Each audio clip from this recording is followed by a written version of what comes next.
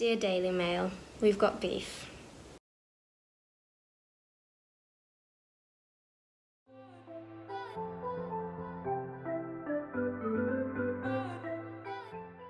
Hi guys and welcome to today's YouTube video. Um, so I didn't plan a video for this week but little did I know what would come up.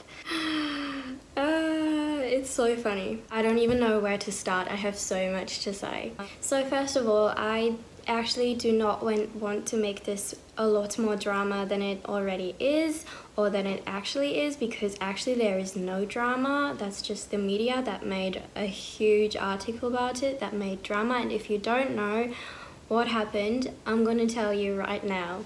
So yesterday 26th 26th of December I got an email from the Daily Mail that said hey um, are you alright if we use your video in one of our articles? And I didn't respond because I was working and I just, I didn't even know the Daily Mail before they sent me an email. Well, now I know. And when I got off, I checked my social media and one comment on one of my Instagram posts, which was really random. I'm gonna blend that in if you wanna see it and read through it.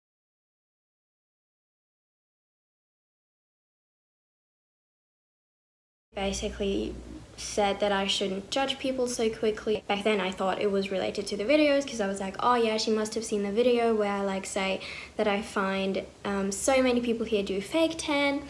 Um, and I even said that I do not mind people doing fake tan. I fake tanned myself. And I said that like 500 times in the video and I was like, she must have really misunderstood that. Like, she must have really, really misunderstood that. And I responded to her very kindly and she deleted her comment. Anyways, after that, I received heaps and heaps of new followers, new subscribers, like not that many. I think I gained like 100 new followers now, which isn't a lot. Like, you know, I'm still a small account. Even my YouTube has 600 people watching it. That's not many and that's very, very small. So you know, I'm a very, very tiny account. Anyways, so I received all those like um, subscribers and stuff and people saying like weird stuff about me and like responding and I was like, hold on, there is something wrong. Um, so I checked the Daily Mail because I was like, they said something about me in an article.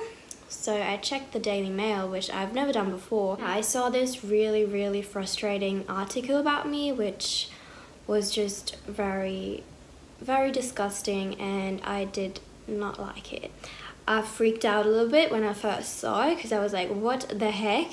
I did not plan on going anywhere. I did not ask for this. I did not ask for anyone to like put me out there like the worst person on planet Earth. And it says I am slammering Australian tradition in my video. It says I find Australia weird and disgusting. So what they did, like, you know, the media, they take one word that you say and then they put it in a bad way. We all learned about this in school. We all know about it, but I was like, I've got 600 subscribers. Like, why do you actually, why do you even care about me? Um, and then that article, like the headline was really, really, really rude, saying like that I find Australia disgusting, basically. That's what it says. And then like the first first few like lines are everything that I find disgusting and weird about Australia. And then the article says, oh, she actually doesn't mind those things at all and she doesn't want to be offensive. She also says that in her video, but we don't care. Let's take this little girl and put her out there so everyone can hate on her on Facebook. Like that's basically what Cindy Tran did. Like she wrote the article and I don't you know, you used all of my photos on my social media, you used my video, you used my words and twisted them. You probably don't care. I actually called the Daily Mail this morning. I called the person that wrote me this email and I responded to their email. I was like, hey, would you mind taking that article down? It's definitely not my what my intention was. My intention was to create a video that points out the differences between two cultures, which is what I do videos about and which is what I do post about to my small group of little followers that actually enjoy watching that because they find it relatable or they have experienced the same kind of things. So Cindy Tran wrote this article about me and the article itself is fine. I don't mind the article um, because it basically, oh, the, it's just so stupid. It's just so stupid. Like she talks about me liking Australian tap water. Who, the, who, like no offense to myself, but like no one cares. No one cares. All of those angry people on Facebook do. They care. They apparently didn't even read the article as well. They apparently didn't even watch the video. And if they did, like, I'm sorry, but there was nothing offensive on it.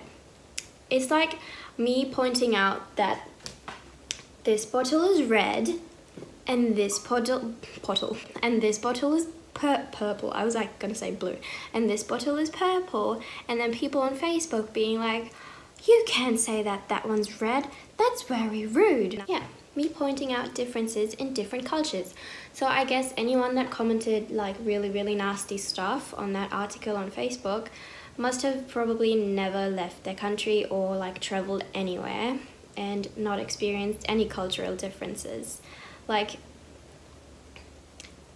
Germany and France are different. Germany and the UK are different. Okay, I don't I won't go into that too deep about like how that's not offensive because it is not it's not offensive. And I feel like this lady that wrote this article about me, she was like, oh, she must have had a really low day at the office. Like that's what one of my followers said. That was I found that very funny, so I'm gonna quote him. Um, because she saw that video and she heard me saying, I do not want to offend anyone.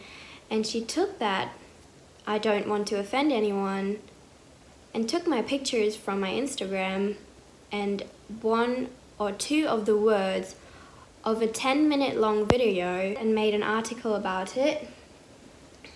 Um, so people would find things that I say offensive. What really, really annoys me is just that those people that comment on Facebook, I actually don't care about the comments because I know there are so many people out there supporting me. I've got hundreds and hundreds of messages telling me, oh, honey, the Daily Mail is shit. You should not listen to that. And I was like, yeah, well, but there are so many bullies out there.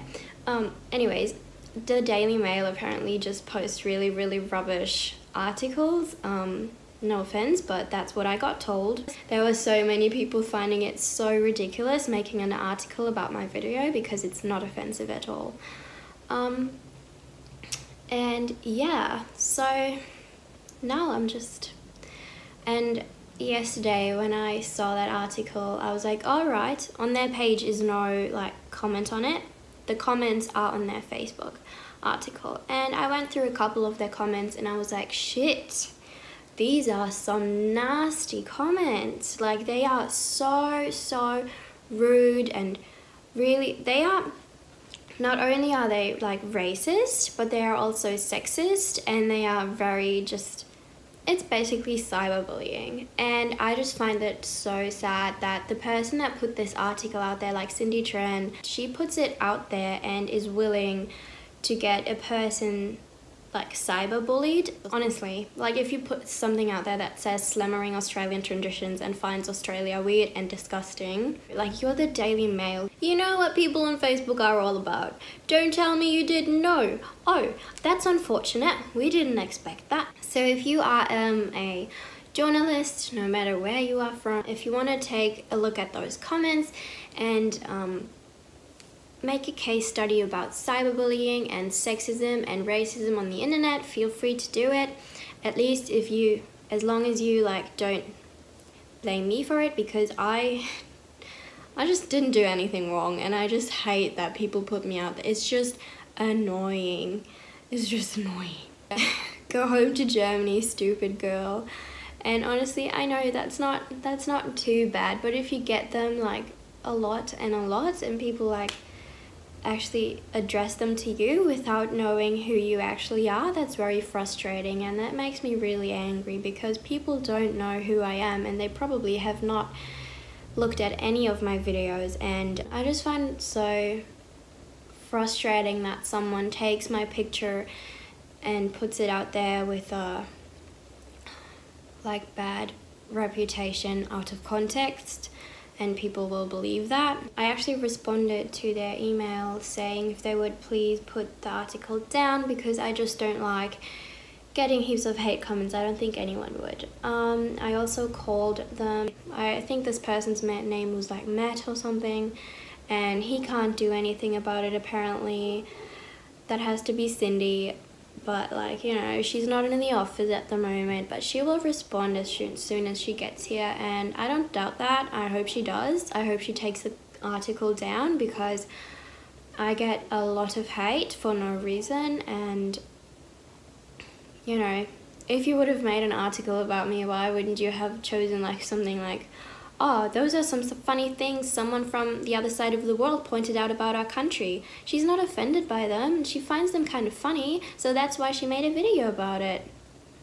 But, you know, I know that people want to create drama, it's just I don't like that on my cost. Like, literally, the least thing I wanted with my YouTube is called drama because I am not a fan of drama, I hate drama. Definitely not a fan of judgment. When I first read the comments, they made me cry. I was so shooked. Shooked. I was shook.